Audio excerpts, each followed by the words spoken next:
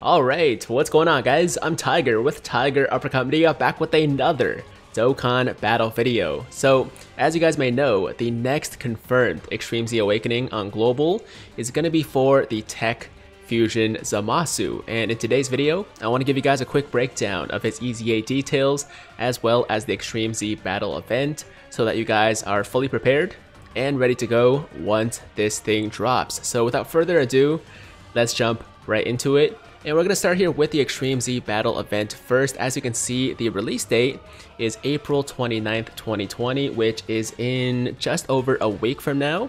And the weakness for this event is the Worthy Rivals category, led by the...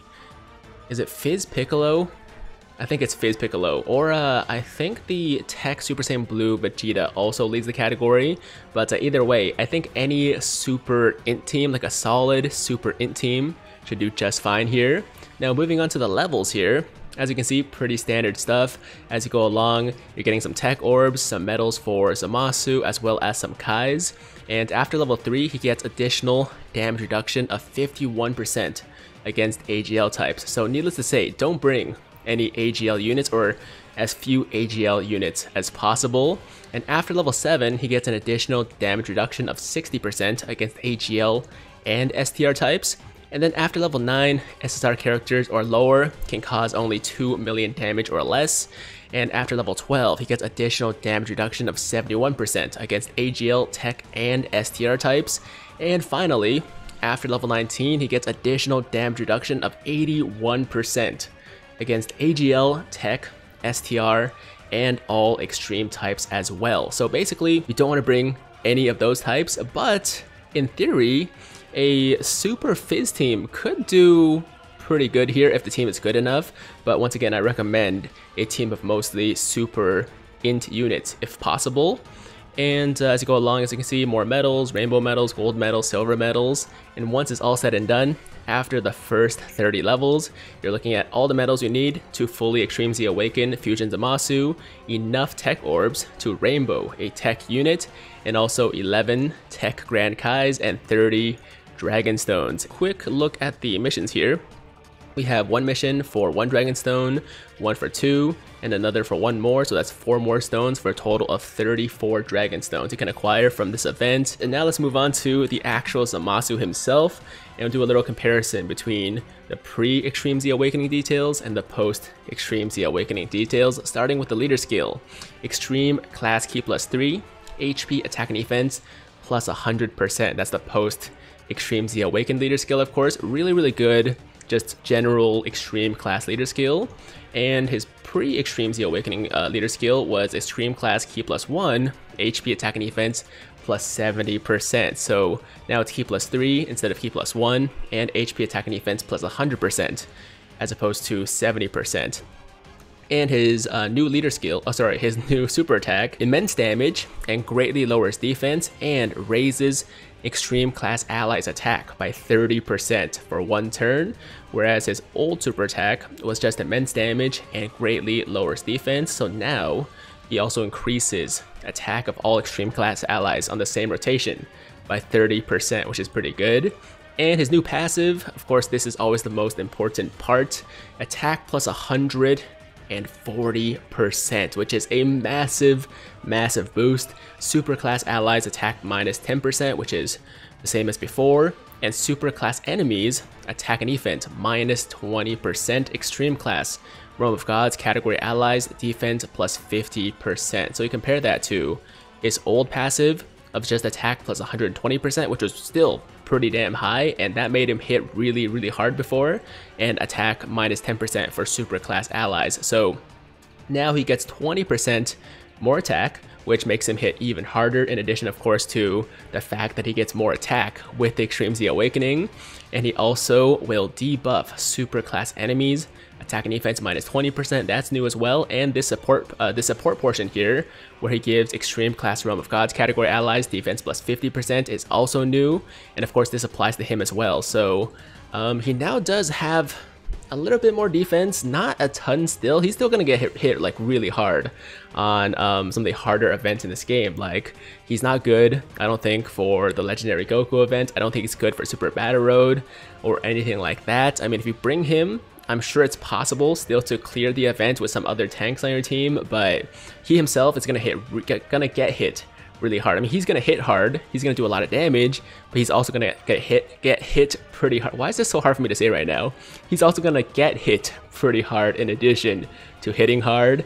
Um, the good thing is that if you do bring a team of mostly extreme class Realm of Gods allies or just units, um, he's gonna be buffing them, you know, making them a little bit more tanky. So I guess he'll make up for his own lack of defense by giving some other people more defense or other units more defense.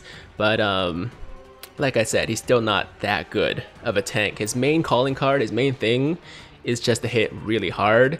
And trust me, he hits really, really hard.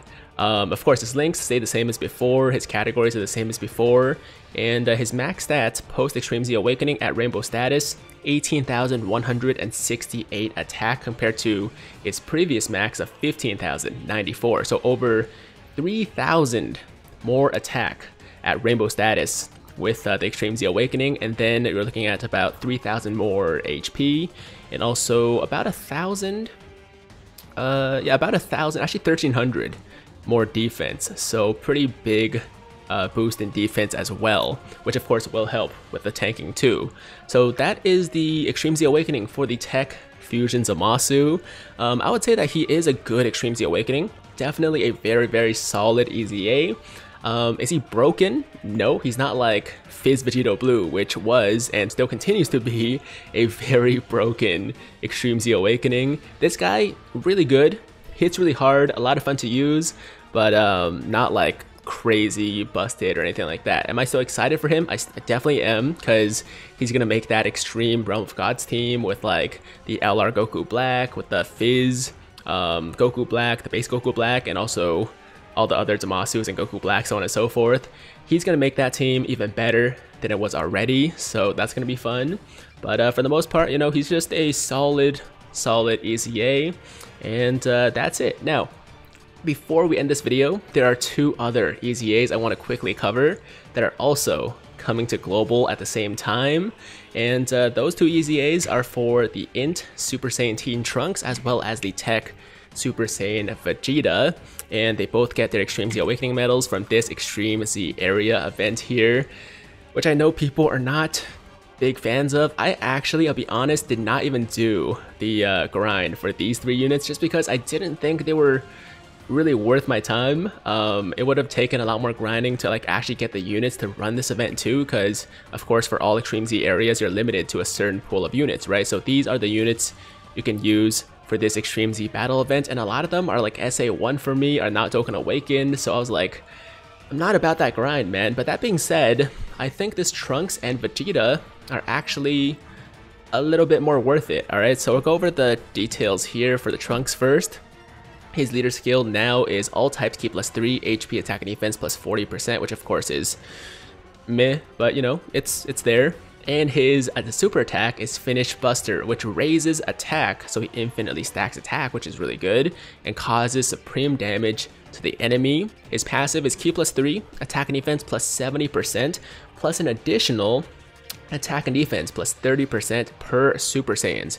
Category ally self-excluded attacking in the same turn, which means that if you're running a rotation with him as well as two other Super Saiyans um, units on the same rotation, then he's going to be getting an additional attack and defense plus 60% for a total of 130% attack and defense and Ki plus 3 and that's a pretty solid boost, man. I mean, compare him to before, where he was getting attack plus 2500 and Ki plus 2 at the start of turn. At the start of turn, um, the improvement is massive, right? I mean, 130% attack and defense from 2500 attack.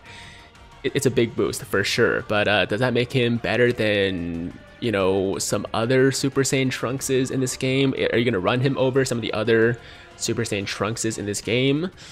Probably not. Probably not. Uh, but still, I mean, if you are a newer player or you don't have other Super Saiyan Teen Trunkses, uh, and this guy's your best option, then this EZA is still very, very solid. All right, for sure, for sure. He's uh, a good sub for Super Saiyan's team, no doubt. Um, what else? What else? Uh, that's pretty much all there is to know about him actually. I mean, he gets, you know, a big boost in stats once again.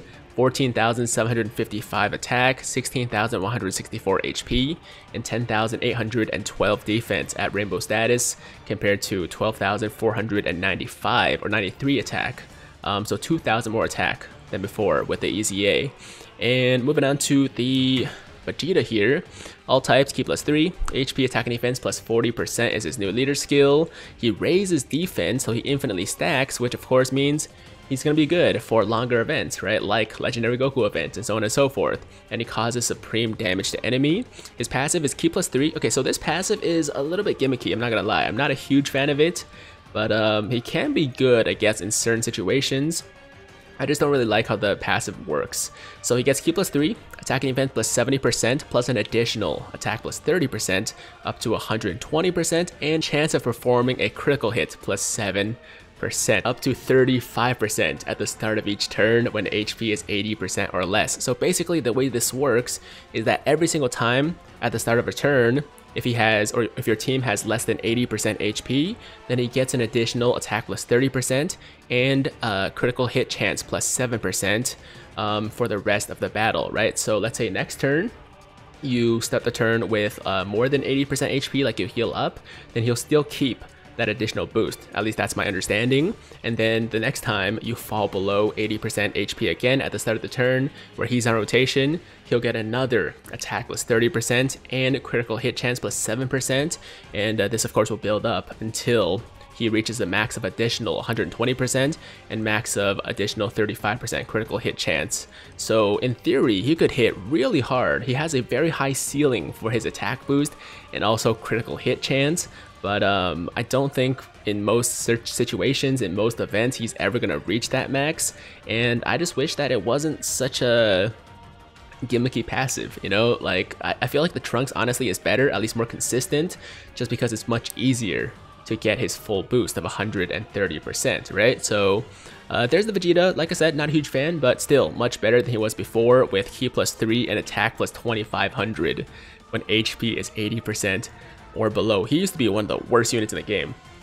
At least, at least like worst Dokkan Awakenings in the game, no doubt, before this EZA, right? So um, I'm not complaining about this massive, massive improvement. I just think that this passive could have been a little bit easier to fulfill, I guess, easier to actually activate. Anyways, there's the Vegeta. And uh, as far as stats go, he gets a max of 14,352 attack post Extreme Z Awakening, 15,127 HP, and 10,862 defense at Rainbow status. And that's it guys, that is today's video. That's all the information I have for you today. Hopefully you guys learned something in this video that you didn't know before. And uh, hopefully you guys are excited for one of these EZAs, most likely the TEQ Zamasu, but who knows, maybe you guys are huge Trunks fans. So uh, that's it guys, thank you so much for watching today's video. And uh, as always, hold on, I'm trying to think if I missed anything. I don't think so. I don't think so. Anyways, as always, if you guys liked today's video, then make sure to like the damn video. And if it's your first time watching me, first time to the channel, and you like what you see, then make sure to hit that big red subscribe button to join the Tiger Squad now. And while you're at it, hit that notification bell too, so that YouTube knows you want to stay up to date with all my latest content. And that's it. I'm out of here. Until next time, hope you guys have a fantastic, fantastic day.